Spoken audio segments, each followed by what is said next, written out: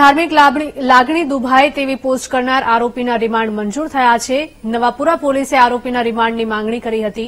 આરોપી શાહિદ પટેલને કોર્ટ સમક્ષ રજૂ કરવામાં આવ્યો હતો અને આરોપીના આ કૃત્ય માટે કોઈએ ફંડિંગ કર્યું હતું કે કેમ તે અંગે પણ તપાસ શરૂ કરાઈ છે. અને કોણ આ લોકો અને કોણ લોકો આ કામમાં સંડોવાયેલા છે તેની પણ તપાસ શરૂ કરાઈ છે. વડોદરાની આ ઘટના જે સામે આવી હતી તેને લઈને પોલીસ દ્વારા કાર્યવાહી કરવામાં આવી છે. વડોદરામાં ધાર્મિક લાગણી દુભાય તેવી પોસ્ટ કરનાર આરોપીના રિમાન્ડ મંજૂર થઈ ગયા છે. નવાપુરા પોલીસે આરોપીના રિમાન્ડની માંગ કરી હતી અને આરોપી શાહિદ પટેલને કોર્ટ સમક્ષ રજૂ કરવામાં આવ્યો હતો. આરોપીના આ કૃત્ય માટે કોઈએ ફંડિંગ કર્યું હતું કે કેમ તે અંગે પણ પોલીસ દ્વારા તપાસ શરૂ કરવામાં આવી છે.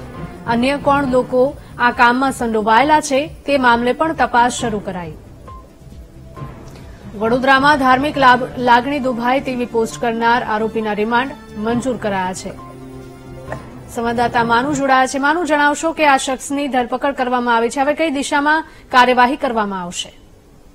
લોકોની ધાર્મિક લાગણી દુભાય એવી પોસ્ટ કરનાર જે શાહિદ પટેલ છે, એની નવાપુરા પોલીસે પરમ દિવસે ધરપકડ કરી છે.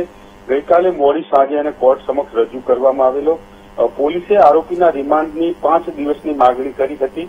રિમાન્ડ દરમિયાન પોલીસને જે તપાસ કરવાની છે, એમાં આ જે આરોપી છે, એને કોઈના દ્વારા ફંડિંગ કરવામાં આવ્યું હતું કે કેમ?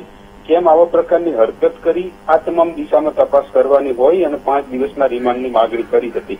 કોર્ટે બે દિવસના રિમાન્ડ મંજૂર કર્યા છે.